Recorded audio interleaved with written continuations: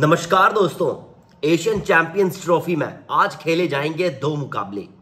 एक पहला मुकाबला होगा शाम छह बजे, जो थर्ड और फोर्थ प्लेस के लिए खेला जाएगा जापान और कोरिया के बीच में।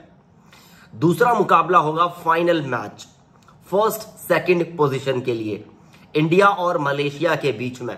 इस मैच का समय रहेगा रात साढ़े आठ बजे। 8:30 इंडियन स्टैंडर्ड टाइम के अकॉर्डिंग ये मैच शुरू हो जाएगा। सो so गाइज़ इस वीडियो में हम हेड टू हेड और पिछले कुछ मुकाबलों के बारे में बात करेंगे और बताएँगे कि भाई कितने चांसेस हैं इंडिया के जीतने के, मलेशिया के अगेंस्ट में।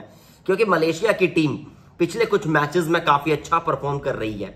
और इंडिया की टीम भी अच्छी है नो डाउट तो चलिए चलते हैं मेरी स्क्रीन पर, जानते हैं पूरी डिटेल तो चलिए जान लेते हैं मलेशिया के लास्ट फाइव मैचेस का result so Malaysia won four matches in last five matches and lost one match against India.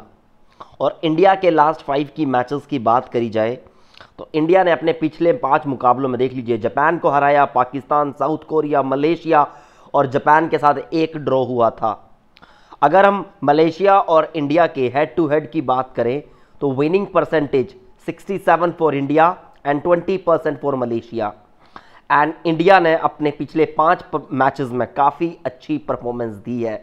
यानी कि इसका मतलब हायर चांस है इंडिया के मलेशिया के अगेंस्ट जीतने के।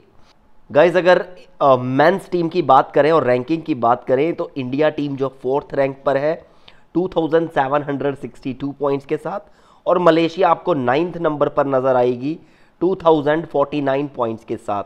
ये 11 अगस्त के रिजल्ट्स के अपडेट के बाद का रैंकिंग है। तो मतलब कि काफ़ी गैप है। तो रैंकिंग में भी इंडिया अभी थोड़ा पॉजिटिव नज़र आ रहा है। ओवर कॉन्फिडेंस नहीं होना है। बस हमें भरोसा रखना है अपनी टीम के ऊपर। आज इंडिया जीत सकती है।